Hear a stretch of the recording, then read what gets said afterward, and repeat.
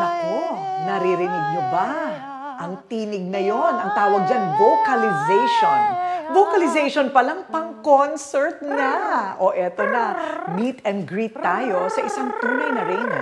Nakakilala na ba kayo ng tunay na reyna na nagmumumog habang habang nagpa-practice? Nauli mo ako. Ganon pala yun. ah. Ganon pala ang vocalization. Parang, parang bago ka mag ano, Ay, toothbrush. Yes, yes. Ganun talaga. Hello! Ay! Naku, thank you! Finally, Napakahirap pong Uy, maimbita sobra. ni Miss Pops Fernandez. She's always busy at parating wala sa bansa Yun dahil lang, in demand oo. masyado. 'Di ba? Teternohan niya ng isang tell-all Well, not all. Alam mo naman si Pops, masyadong pribado. Pero tell most of it dito sa ating programa dahil makikita natin na tulad nating lahat. O, di ba, aminin? Pero happy ending pa rin. At yan ang pagkukwento. Uy, wala nang urungan. Baka bigla kang hindi magpakita mamaya. Oo ah. nga, biglang. an- Parang na- na-pressure ako doon sa sinabi mo. Parang ayaw na niyang ituloy yung Parang interview. nag- nag-iisip-isip ako ngayon. Oo, hindi. Hindi na siya makakawala. Sin- kinandado na namin ang gate. Okay? So abangan ninyo itong ating, pati ako, mag, siguradong magugulat sa aming na-research tungkol sa buhay ni concert queen Pops Fernandez only here on Karina Interviews.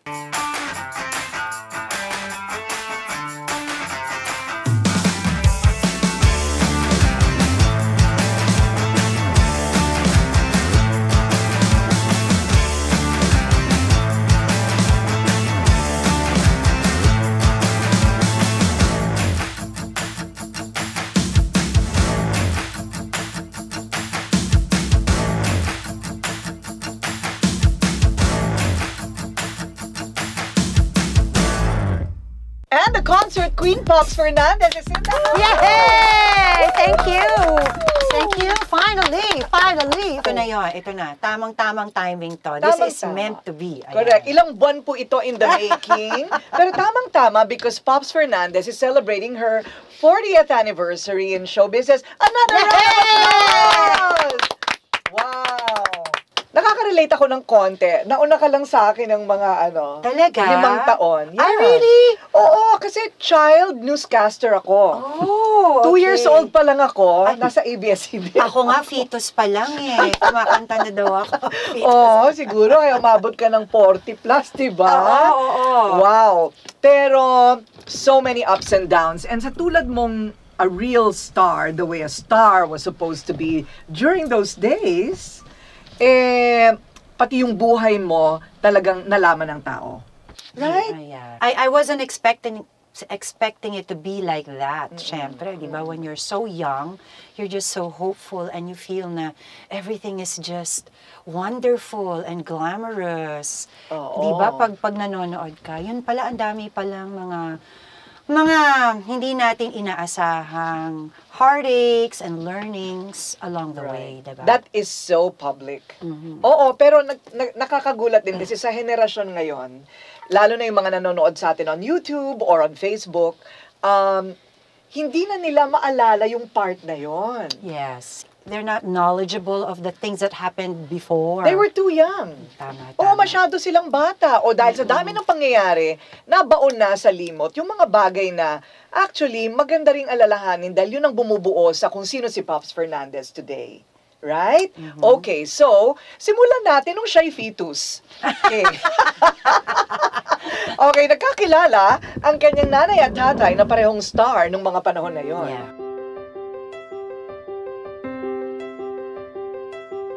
Eddie Fernandez Fernandez. was an action star. Yes. He's Ano known as uh, Lagalag. Ayun, lagalag. Lagalag. Hindi pa hindi ako nagkaroon ng chance mapanood any of his films. Same with my mom. Kasi nung araw, 'di ba, once they air it, it's rare that you get to see it again, right? But I know and everybody tells me, lalong-lalo na syempre yung mga fans ni Papa na yun na nga ah, favorite daw nila si Papa, si Lagalag.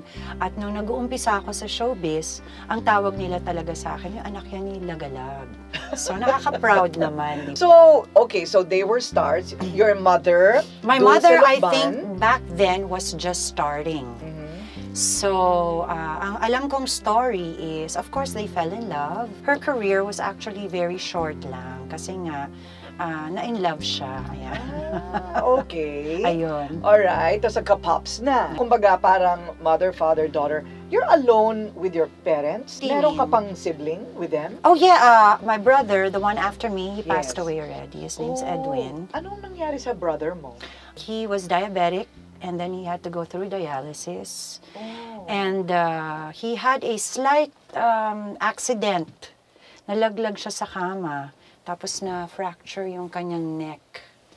So, uh, Tumuloy-tuloy. parang yeah, he, he got weaker. Mm-mm. And, um, but he was able to survive it for a while. For a while. So at least there was time. Yes. There was time for me to spend with him. Kasi, Corina, tandaan mo, when I was a kid, I was so busy na. Yung, um, we were all, we all played together. Tapos nung nag, nagtrabaho na ako, sobra na akong na-busy. So they rarely see me. They'd only see me siguro, not even in the morning, tulog ako during the day eh. Sa gabi naman, pag uwi ko, tulog na sila. Hanggang sa, of course, nag-asawa na rin ako, nagka-family ako. So that was my, um, we, we were given a chance to be together. Oh, nice. At least, ba? Wow. I lost a brother also, so I know that kind of pain never goes away. Tapos during the latter part, I was I was the one who took care of him. Is the sadness because there wasn't time enough with him throughout his life? Um, yeah, maybe. Or there was a lot of regret because nga, I missed out on so much. And then parang you want to do more. Up to a point na you can't do anymore. Oo. But I think, ano naman, we were very happy. Ah, gusto ko naman sabihin na happy naman siya during his last years. How old was he? Almost He- 50, yes. Oh. Well, things happen to all of us. Pero syempre, your pain is different from everybody else's. Oh, no? yeah, yeah, yeah. Hindi Ako parati kasi pag family, anak, ah, naiiyak talaga ako. Hindi ko alam kung bakit. Nakita naman ng mundo na yung buhay mo, marami din namang kasya, kaligayahan. Oo naman, oo naman. Marami din namang kaligayahan, Oo. lalo na itong mga panahon na ito. so, maraming kaligayahan, pero ayun na nga, in the beginning, marami ding mga kalungkutan, ano. So, ito nang pinakahuli yung pagkamatay ni Edwin. Mm. And he will forever be loved and remembered, of course.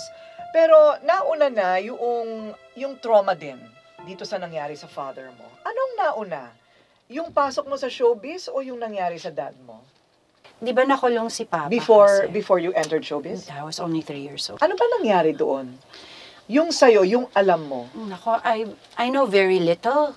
But syempre, if you ask me, I know that um, wala naman, parang victim lang siya Oo. in a, in a situation na wala, rin, wala na rin siyang magawa. That's all I know.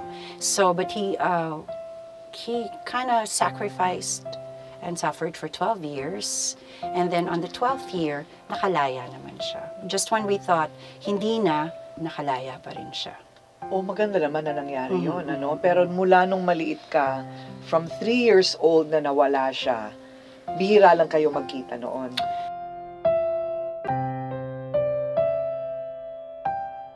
Siyempre, um, hard, di ba? But my, my mom was nice enough to allow us to visit a birthday, special occasions sometimes. Mostly birthdays, my, my papa's birthday, uh, my birthday, my brother's birthday sometimes, but not all the time. Yung mga panahon na yun, hindi mo pa ramdam. Ramdam mo na ba yung absence niya? Um, hin- hindi ko naintindihan. ah, oo. Di ba? It's like, wala lang, it just happened. So, because you don't know any better, uh, you just think that it's, there's nothing to compare, there's no one to compare with. So, I didn't really think anything of it. And dumating sa punto na, ito hindi ko mapaniwalaan ito. Ano yan? Dumating sa punto na humirap din ang pamilya. Humirap din ang pamilya na, Kasi nawala si Papa. so, Oo. syempre, walang income. oo. Ba? Wala rin si Mama, she wasn't naman working. What was the worst? What was rock bottom for you? It wasn't it didn't feel like rock bottom then i guess when something maybe traumatic or tragic happens or something happy happens that those are the things that kids remember you know children remember so i- uh, back then hindi i it didn't feel like we had nothing because bata pa nga ako, but I would remember, and this is this is a true story, no? Every time yung mag-uuwi ng sardinas, lata ng sardinas, we would be so thrilled as a kid. Ilang families ang mag-share noon because my mom also took care of her her uh, siblings. My mom was really the breadwinner also. Wow!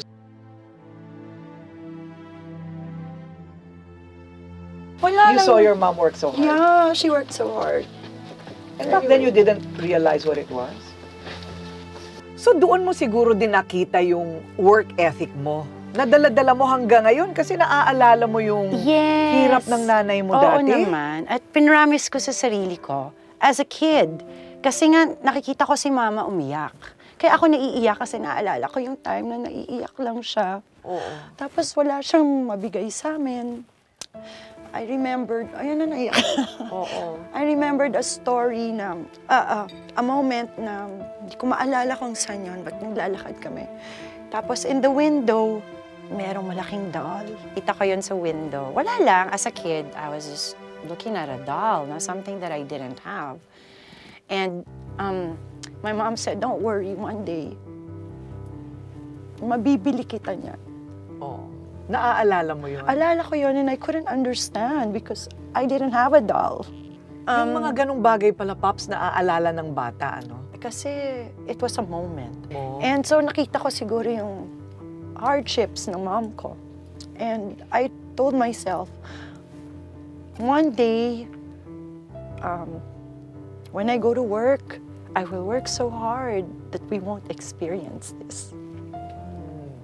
So nakaranas din ng hirap, hindi namin ma-imagine, pero Correct. nangyari pala kay Pops yun. Oo nga. Diba? It's one Nangyari side pala. na we never really discussed. But then Right. after that, my mom was able to put me to a very good school. And I, I, I think it helped me a lot also with confidence. IAS was a school that gave me a lot of um, confidence. And everybody, I've learned how to be independent because, you know, everybody's independent. They speak their mind. They're not afraid to say what they want to say. Parang nabukas ang mundo mo dahil napunta ka sa isang international school. Mm. So parang parang lumawak, no? Lumawak, ang pananaw. At hindi na ako kasing afraid. Di ba? Afraid of who I am, my life, you know. So dito na rin ba nabuo sa pag-discover mo ng ah, confidence sa sarili mo, yung marunong ka palang kumanta. Of course, siya po ay mula sa showbiz family. At um, kamag-anak mo rin ang mga Soto. Right? Ah, Very musical family. Very, very good friends of my mom. ah, okay. Best friend ni Mama, si Ninang Helen. Every Sunday when I was a kid, ah, ang aming ah, Sunday is spent in Ninang Helen's house. Ah. So kailan mo nalaman na marunong ka pala, mahilig ka palang kumanta? Bata pa lang ako, syempre, totoo yung sinasabi nila, once uh, showbiz is in your blood, talagang yun ang gusto mo, di ba? So in school, maski na sobra akong mahiyain, totoo talaga to, I was so shy. Hindi mo talaga ako mapapasalita, only when the teacher calls me for the answer. Back then, sumali ako sa choir. Why? Tanong mo ko why. Why? Kasi you get to skip classes during Okay. yun lang yon. I didn't know back then, but I I like to sing pala. I was just too shy to really admit it to myself. And school, we would join uh, talent contests and singing contests. My friends would sign up my name. Come on, Shalito, which is my real name. Come on, Shalito, sign up's gonna be fun. We're gonna win. Ako naman, okay. And then I think I realized, and my mom also realized, ako makanta pala yung anak ko. Ayun. Nung nalaman niya, ayun na, patay. Lahat, sa lahat ng guests niya, oh, Pops, kumanta ka. Pops, ngayon na, kumanta ka. Di ba? Nakakapikon yun. Oo. So yeah, that's what we, she was so proud that yeah, lahat na lang ng bisita namin, oh si Pops, yung anak ko, kumakanta, alika, alika, kumanta ka. Hindi naglaon dahil sa nalaman na nga ng mundo na marunong siyang kumanta. Ang bata mo pa noon, what, 12, 13, right? Yeah, we're, Oo. yeah. Sign up na agad. Ha? Sign up na agad? Ganun ba kadali ang mag... Hindi ganun ka. Pa- Paano yun? Pa- I paano think I yun? was just very blessed because nga, na nag-discover sa akin si Ninong Tito, si Tito Sen, di ba? And uh, he uh, introduced me right away to Tito Orly Ilacad. Um, I auditioned. I know, I remembered I did two songs. was Bakit Pa Ganyan? Ah. So, isa yon sa audition piece ko. Bakit ba ganyan? So, when uh, Tito Orly heard it, sabi niya, "Oh, okay naman, nakakakanta. oh. So, so sige, sige, sige, try natin. So, I think I was one of the uh, youngest uh, recording artists of um, Octo Arts back then. At 13. And your first song was? Dito. Dito. Dito. This Kaya magsama-sama sa harap ng telebisyon para manood at magsaya kasama ang buong pamilya. Please let's welcome our Tara Gamers na Street Vendors! Sarap. Ikaw, gusto mo ba? Diet nga ako eh. Mamaya na lang pagkatapos ng game. Akala ko food trip tayo eh. Kayo na may papasa yung tanong na yan. Kay Ate Ruby. Ate Ruby po, sorry. Ate Ruby ulit. Grabe ka, wala kang awa. And this is Tara Game! Agad, agad! Level up!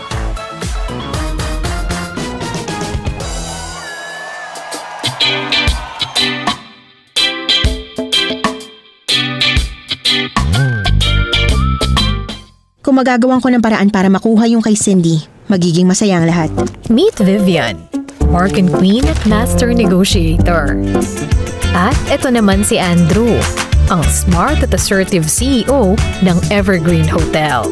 At dahil sa mahigpit na request ng client, Hi, ako si Cindy. Nice to meet you. Ako si Vivian. mapipilitan si Vivian na bumalik sa Evergreen Hotel. Um, saang hotel ba ang gusto nyo? Sa Evergreen Hotel. Sa totoo lang, maraming fans si Mr. Sheng, pero ikaw lang yung obsessed sa kanya ng ganito. Sorry, pero mali ka nang iniisip. Mukhang nagkamali tayo, sir. Hindi siya fangirl. Misunderstanding lang. Misunderstanding? Naaalala niyo po ba yung babaeng nakabook sa hotel two years ago? Ano nga ba ang nangyari two years ago? Alex! Kahit bumalik ka pa, hindi magbabago ang isip ko!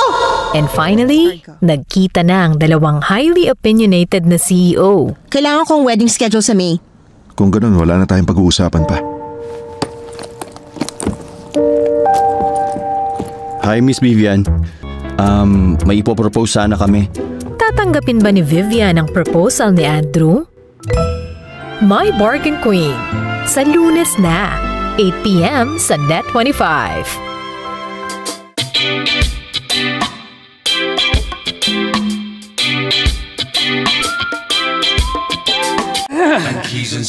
Ba't ba lumabas dito? Nakakahiya.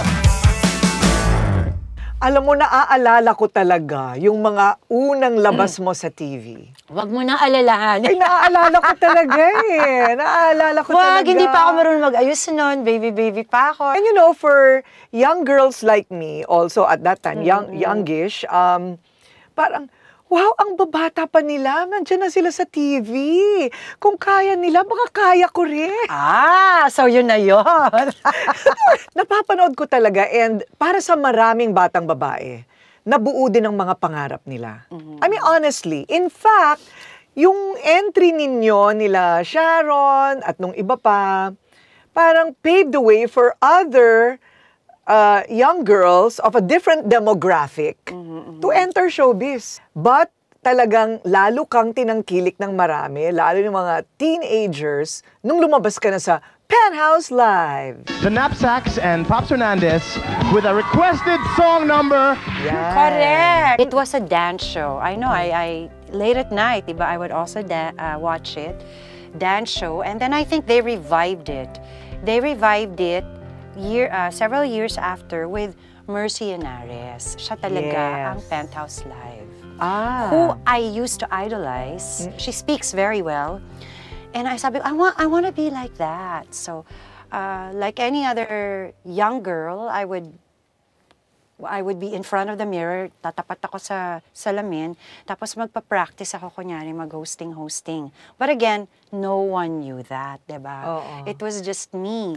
So, nung invite ako ni Direk Fritz, who is also a huge part of my showbiz life, no, si Fritz Infante, when he invited me to be a, uh, a co-host for that night, so I kept telling him, Ako, I'm so busy because that's a Sunday night na. Ang, excuse ko parati is, oh, I can't do it because I have school early morning.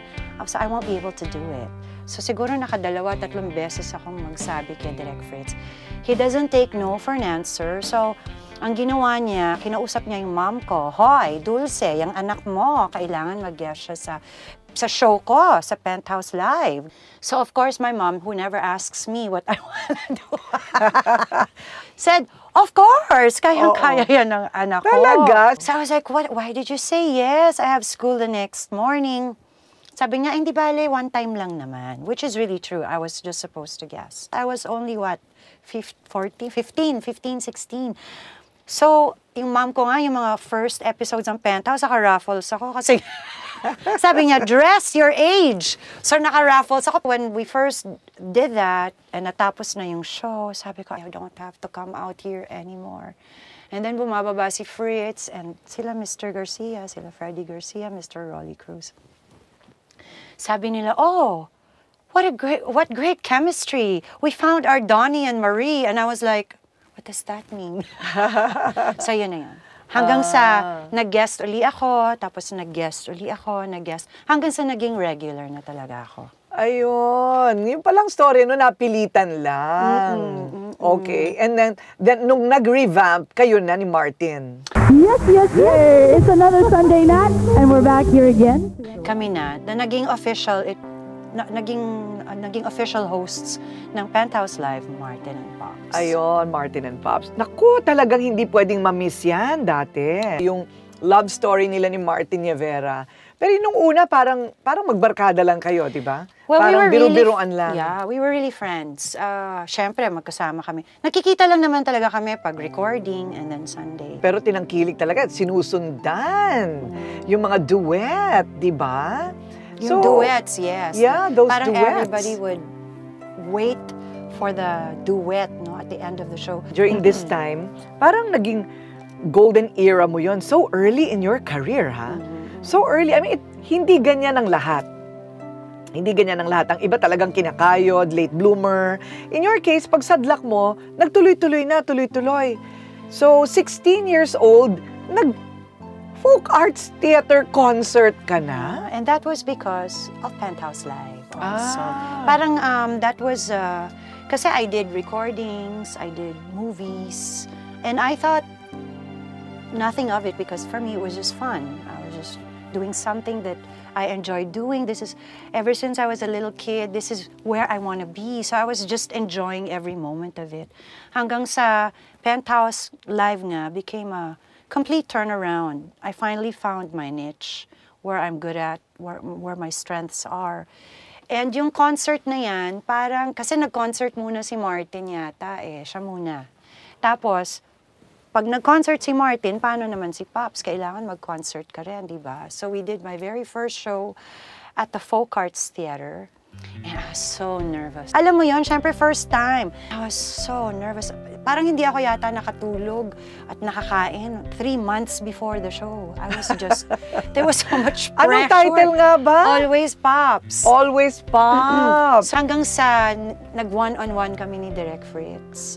Uh, before, a few days before the show, sabi niya, Iha, sabi niya, as your director, I just want you to know that you're the only one on stage. I'm not going to be there.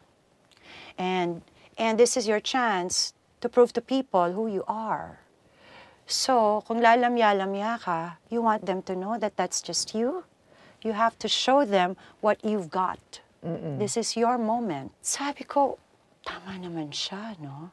And whatever it is that they see, that's the only thing that they'll remember, right?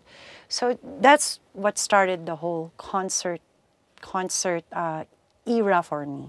Right. Parang give it your best, always give it your 200%. Along the way, that's when I started learning. Uh, learning uh, more of my performances, the way I sing, the way I moved, even my spills. Siyempre lahat yan, di ba? Tinuturo lang sa'yo. Hanggang sa naging, it was just as natural as it can be. So you maintained yung friendship ninyo ni Direk Fritz through the years. I owe a lot to Direct Fritz, I Oo. think. And a lot of people as well. Talagang people along the way, ano, parang meron talaga silang purpose sa buhay natin. Yes. And Fritz was one of those for you. Yeah, everybody, I believe that lahat ng nami-meet natin, whether dumaan lang sa atin, di ba, or nag-hello lang, may purpose yan sa buhay Sino natin. nagturo sa'yo sumayaw? Galing mo, ah. But ang dancer kasi sa family is my mom. Oh, tinuruan ka talaga ng mom mong Ah, sumayaw? Sasabihin niya, Canbot. Totoo. Dancer kasi si mama. Si, si papa yung kuma- marunong kumanta. Kaya naman pala sa TikTok, si Kaya, mother, all hindi out, mapigilan. diba? Ayaw, ayaw papigil. Ayaw papigil. No matter how Oo. badly I teach her the steps, she makes her own steps.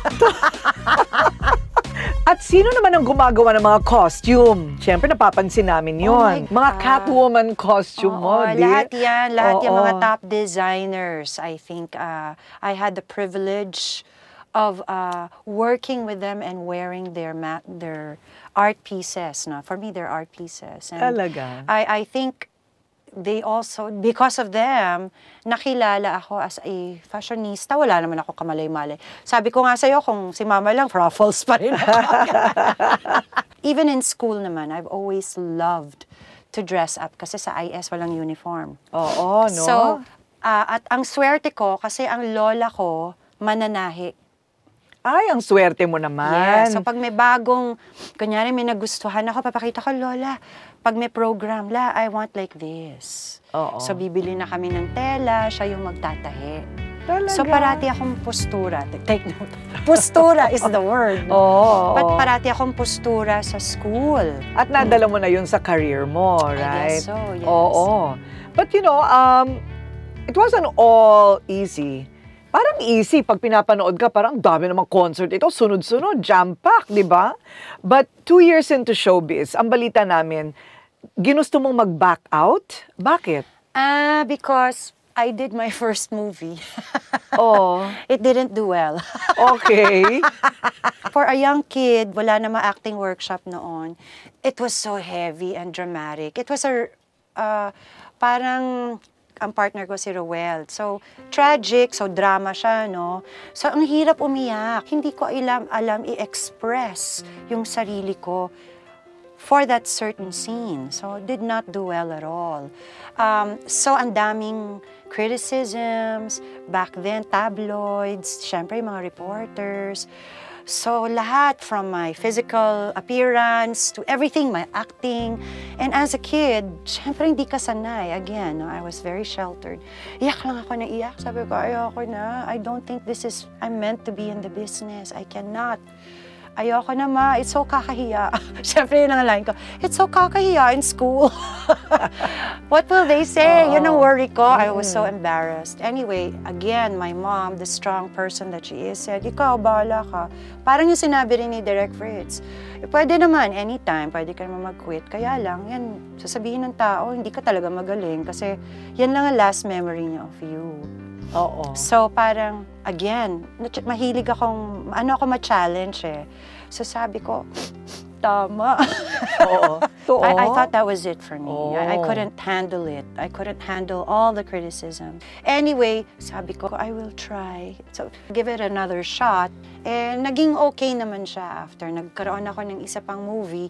It did quite well. Moral of the story is, never quit, diba? Ah. Never. Kung gusto mo talaga, if this is something that you feel you uh, where you belong, just don't quit and and Correct. and do better. Sa loob ng showbiz, um, gumawa na, nag-artista, pagkatapos ah, nagka-love team, tapos na in love, maraming concert. Nakailang concert ka? Have Hindi you, ko na maalala. you don't know Sorry, how ah. many? Yeah. Really? But a wow. lot. a okay, lot. what are like your top three that you will never forget? Your favorite, small or big? Yung sa Rizal Stadium. Okay. Uh, and that's kasi a lot of people, we filled it up. Kaya lang, hindi, yung first show, hindi ako nakakanta kasi umulan. Ay. And ano yan, we prepared for it. May helicopter shot pa yan and everything. Kasi nga siguro hindi pa tayo sanay mag-concert dati, hindi nabubungan. Inulit namin. So, na, I was able naman to do half the show. Ayan. Ah, inulit. okay. I think a month after. So that was unforgettable. Okay, what's another one? Ah, yung susunod, Shindig. Shindig Because? because, single na ako noon. I was really on my own. Uh, I guess because ang ganda ng promo rin noon eh. With the help, of course, of ABS. It was such a big deal. And lahat ng gusto ko nagawa sa Shindig. Uh, I think first billboards to promote a concert was Shindig. I was I had a magazine for Shindig. I had a TV special. Lahat, lahat, lahat nagawa ko. Lahat ng na-imagine ko at gusto kong gawin, pinagbigyan naman ako ng ABS with their support. Ay, ang ganda. And the third is the one upcoming. Yeah. So what makes a concert queen?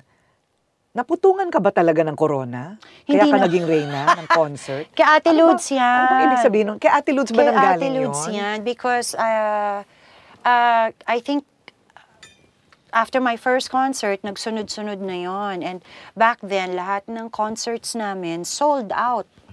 Yun talagang kaka-release pa lang sold out na siya.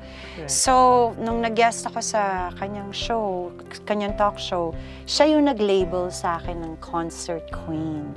And ever since then, it got stuck. Totoo. So, I have to thank Ate Ludes Oo nga. for, for that title. Kasi usong-uso title sa atin. so, it's an Oo. honor, but uh, I don't want to really, in other words, I do concerts not because I want to be called a concert queen. I really just enjoy it. Um, enjoyed creating something different and presenting something different. Di ba, lumipad na ako, nag-shower na ako sa stage, inakyat na namin yung sasakyan, name it, ginawa ko na yata. And coming up with something new and being the first. Wow. So that was the fun part of it. You know, Right. the entrances, the clothes, the pasabog clothes, di ba? That was the fun part. Parang full circle because ah, nag-produce ka na rin. Kaya lang, itong fairy tale story ng kanyang karera, kasi parang from a rocky personal life in the beginning. In the beginning. Checkered. Sabi natin checkered. Pero ang kanyang career, wow, fairy tale. Sort of, right? Yes, It yes. came easy. I was very blessed. Oo, blessed ka. So, I, I was with the right people. I met the right people. I, uh, yun, and everything fell into place. very blessed career, parang fairy tale, pero pang, biglang 2000, huminto sa pagkanta. At ang akala, hindi na siya kakanta ever. Dear Boss Leng, ako po si Venus. Ipinanganak po akong maganda base pa lang sa aking pangalan. May wrinkles ka na! Joke lang, sis. May kaboardmate po ako, si Miriam, na hindi naman kaganda. Sige ah, maiwan ko muna kayo. Uy, sandali Miriam. Para sa'yo, yung mga bulaklak na ito. Judgmental match.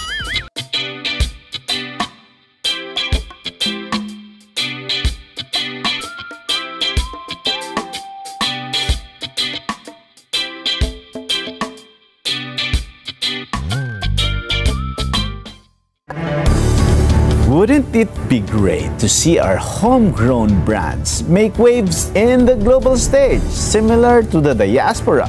Join us on a journey that transcends boundaries and explores the endless potential of global expansion, guided by the insights and wisdom of Cheryl Ramos Quintana, founding president of Orispa and chairperson of the Philippine Franchise Association, as she shares with us her expertise on entrepreneurial journey beyond Philippine shores. Why do we need to bring these brands globally? Eh, Dito pa lang, ang dami na nating consumer, di ba? Market, malaki na sa Philippines.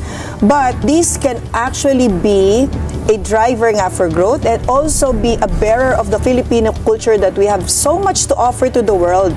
Open for Business with Cesar Vallejos. Sunday, 9 p.m. Si Aramina may dance challenge na magpapaganda sa araw mo. Magandang Araw Dance Challenge. Kitang-kita nga naman bakit gaganda ang araw mo. Kaya sali na sa Magandang Araw Dance Challenge sa TikTok. Nangyari pala yun. Na? nawala ka ng boses at hindi ka Na. kumanta. Hindi namin ma-imagine yun na hindi kumakanta si Pops.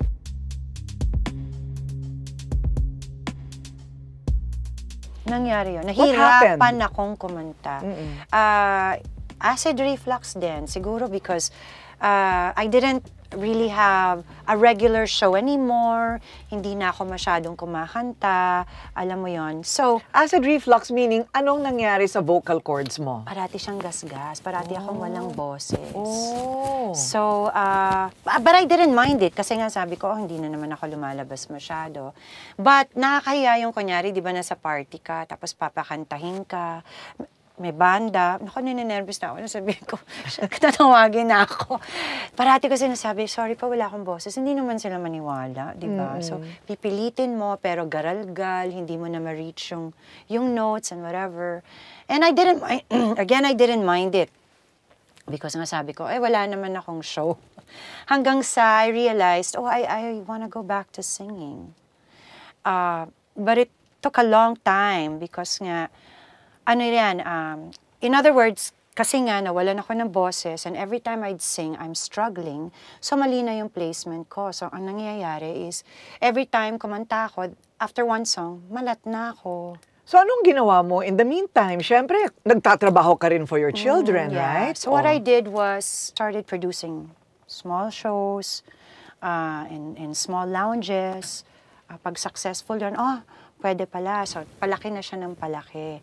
Hanggang sa nakapag-produce ako ng mga uh, big concerts like Ganun pala yon. Kaya ka natutong mag-produce, napilitan ka, kasi hindi Kasi ka makakanta. Hindi ako makakanta. Sabi ko, kailangan Oo. kumita pa rin ako, di ba? Oo. So, imbes na pilitin ko yung sarili kong kumanta na I was struggling and baka pangit, ako na mismo nagsasabi, I was having such a hard time.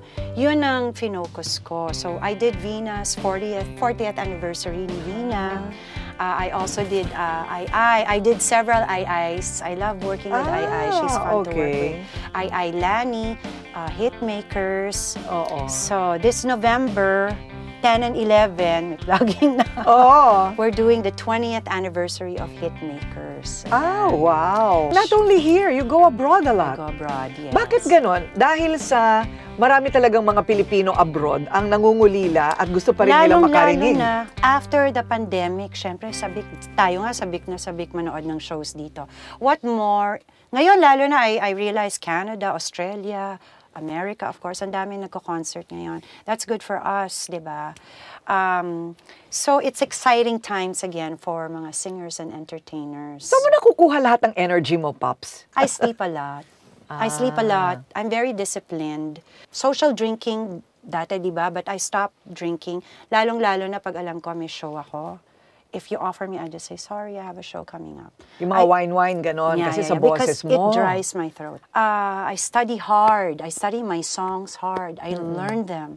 Um, lalo Fit- na ngayon. oh. Because nga, now I'm so aware of my placements when I sing. I really, really try to learn every song that I sing. Still, I, I want to be able to hit my notes because nawala yung high notes ko dati. Nasa mababa lang ako. So ngayon, I'm, I'm starting to stretch and napapansin ko, unti-unti ko na siyang na, nare-reach again at a comfortable uh, pace, no? Yung kumbaga sa, mas komportable na ako. I thank Annie, my voice teacher. I have to thank her. Si Annie Quintos. Ah, so meron talagang, kailangan may coach ka, trainer. Yeah, Like a trainer, right? I, I need someone to hear me. I need someone to correct me. Because baka in my mind, tama ako, yung pala mali, no? Na you keep learning, you keep training, you take your notes seriously, di ba? You keep educating yourself. Masasabi mo bang nagawa mo na halos lahat ng gusto mong gawin sa buhay mo? Pala, ano ba ang love life? Ayun, Talaga- nakalimutan ko siya. Kinalimutan mo na ba talaga ang love life mo? I mean, talaga ba? Walang hindi naman. Hindi Ganon? naman.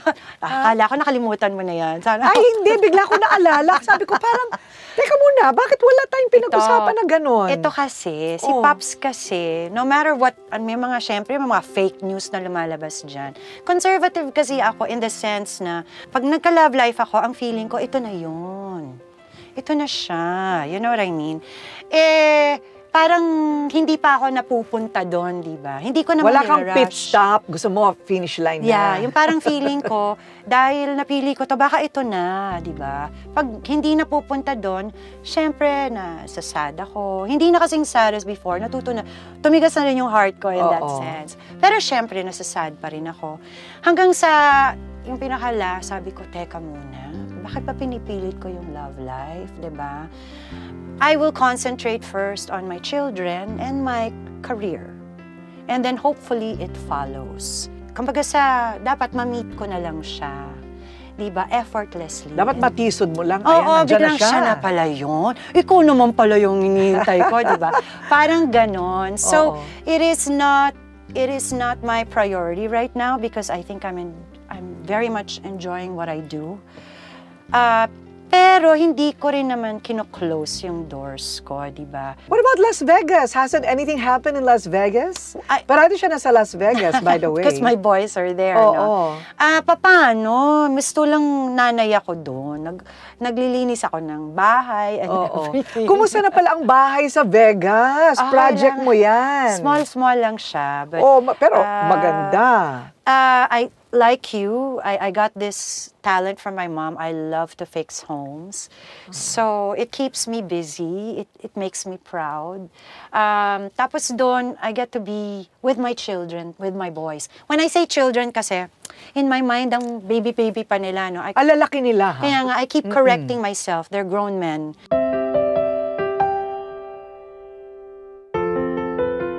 Nung busy kasi ako, nung bata sila, I wasn't really able to spend so much time with them. So talagang guilty talaga ako. So now, ah, bago sila magkaroon ng sarili nilang family, I want to make sure that I get to spend so much time with them, at least quality time Have you them. caught up? Ah, you, I, I don't think you'll ever say you've caught up, no? Parang for me, it will always be a... Lost let- opportunity. Yeah, yeah, yeah. But at least mas conscious ako. And we enjoy each other so much. I mean, we're really like barkadas. We love to cook. Now my boys cook for me. I love it. They, Talaga? they take care of me. I super love it. May mga, yung- may mga nauutusan na ako, di ba? Oo, dapat. So I love, I love our bonding moments when we're together. Pag nakikita nila siguro na nasa mga theme parks kami, we love doing that. So meron kang fallback life pala in Las Vegas. so at this point, okay, in your life, um, you produce, you continue to produce, you're exhausted producing, but you know, you're very productive. What else do you need to do? What else do you want to do aside from working, doing what you love, school maybe? Um, I was such a good student, honestly. I was so studious. When I say good student, studious ako, no? and I wasn't able to really finish. So, buti na lang, parang naririnig-rinig ko, uso na yung mga online classes and everything. And maybe if given a chance, I will I, I would want to take up classes para lang masabi na meron rin akong diploma. Oo, why not? and degree. And it's never too late. Oo. Nowadays nga, wala nang, there's no such thing as limitations, no? You can do whatever you want, you know, and age doesn't matter. You can even cook now. Oh, yes.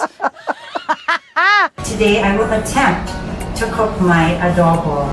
Hoy, yun ang reklamo sa'yo ni Martin, sabi mo dati. Nabasa ko. Oo. May, may, may, Hindi- may hindi mo alam. Hindi ko alam. Nabasa ko sa tabloid one time. Sorry, Marta. Nabasa ko na one of the reasons daw, and I'm sure naman it's one of those, I don't know if it's made up or he did say it. and In somebody- jest, maybe, Yeah. oh. And kaya daw niya, ako, ah, parang, kaya daw kami where we are because hindi ko daw siya pinagluto. Na-hurt ako doon. Sabi ko, kung alam ko lang na gusto mo pala ako magluto, di sana na, nag, nag-aral ako. But anyway, Oh. that got stuck in my mind. So sabi ko, luto, luto, pwede naman. So I started baking. My kids would eat everything I bake. Totoo. Try Masarap it. naman.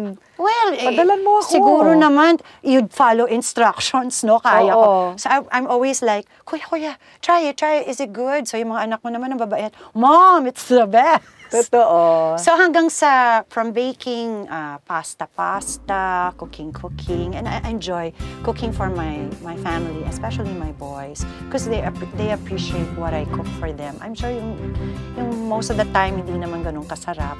But I think they know that it's such an effort for me.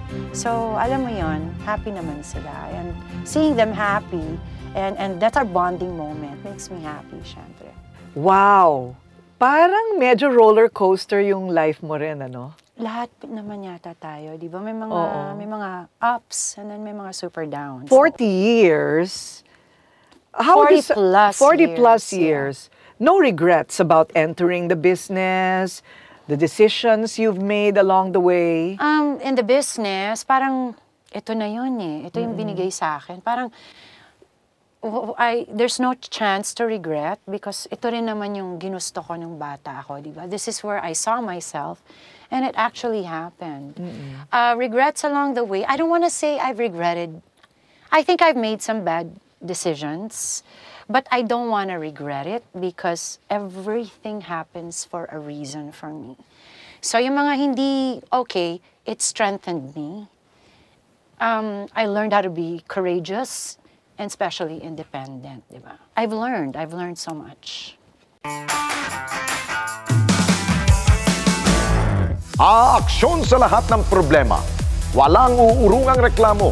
Re-responde anumang sitwasyon. Kung kayo po ay may sumbong, mag-text lamang po ha sa 0915-415-1035. Mag-email din sa responde at net25.com.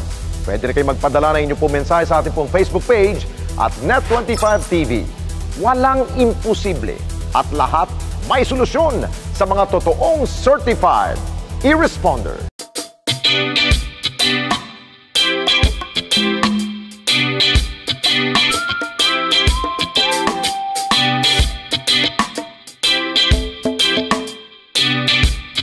Boss Leng, ako po si Venus. Ipinanganak po akong maganda base pa lang sa aking pangalan. May wrinkles ka na! Joke lang, sis. May kaboardmate po ako, si Miriam, na hindi naman kaganda. Sige ah, maiwan ko muna kayo. Eh, sandali Miriam. Para sa'yo, yung mga bulaklak na ito. Judgmental match.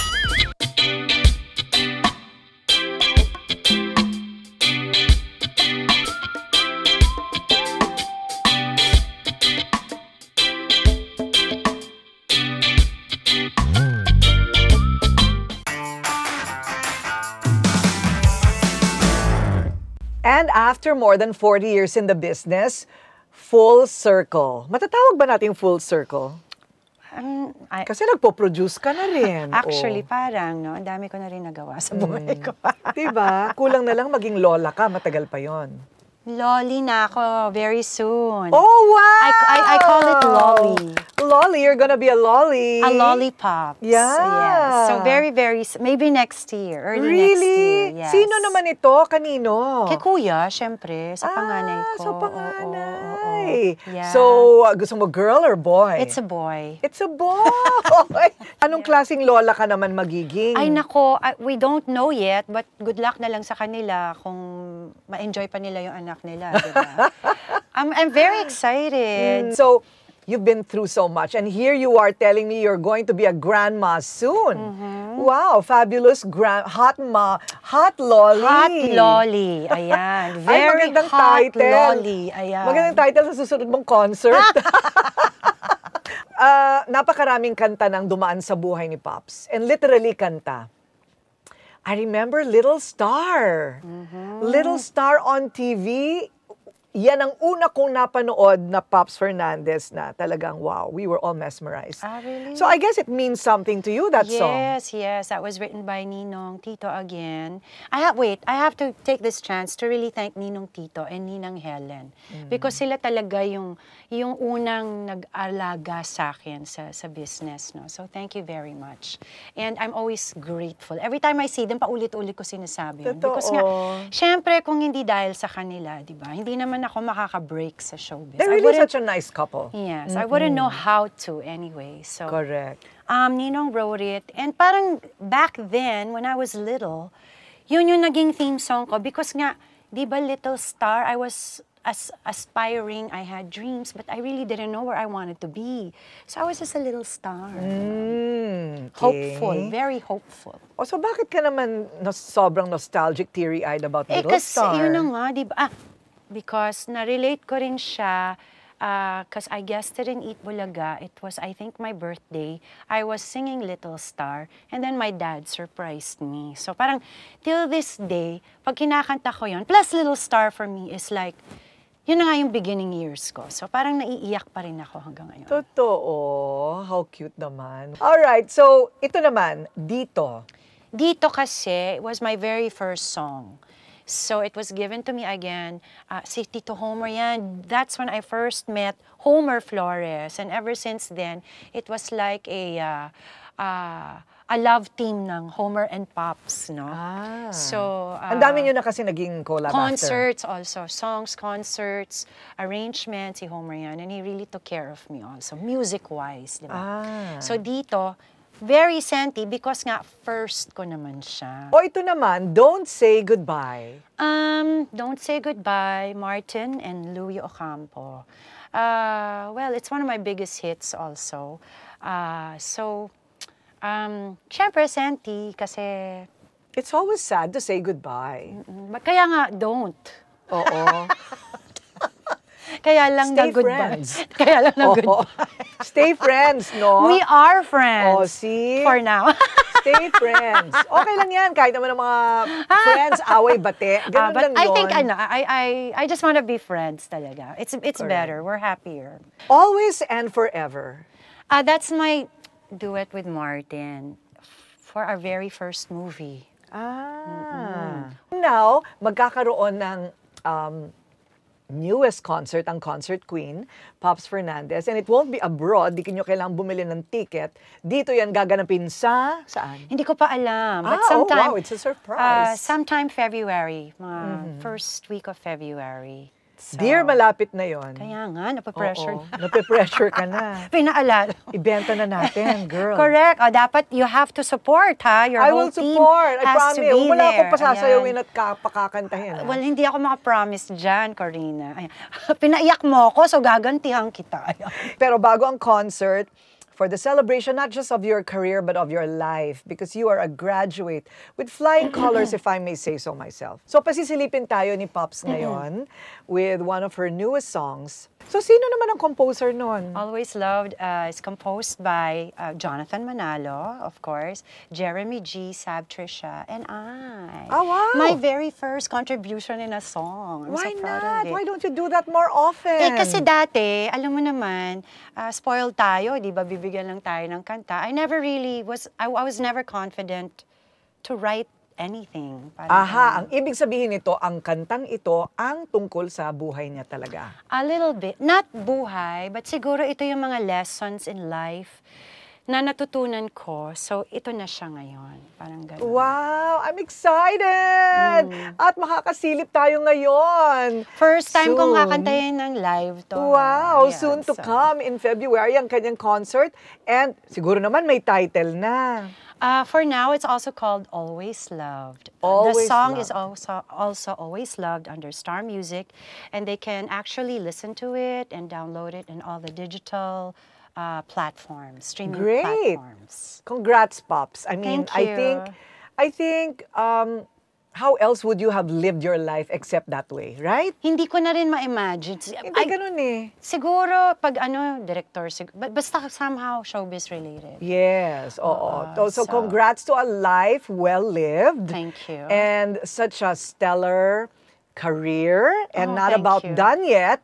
Nagsisimula pa lang po siya. Yeah. I mean, Oo. for as, uh, for as long as siguro I'm enjoying myself in front of the camera and on stage, yeah. I'll still be here. Galing. High five tayo dyan. High Ang five. galing. Tayo, diba? Alam mo, si Cher nga, ayaw, alam uma, ayaw tumigil, no? ang layo pa ng edad mo doon, girl. Kaya nga, but Malayo still, pa yun. yan ang peg natin, nakatanga pa siya, no? Oo, magsimula na tayo ng squats.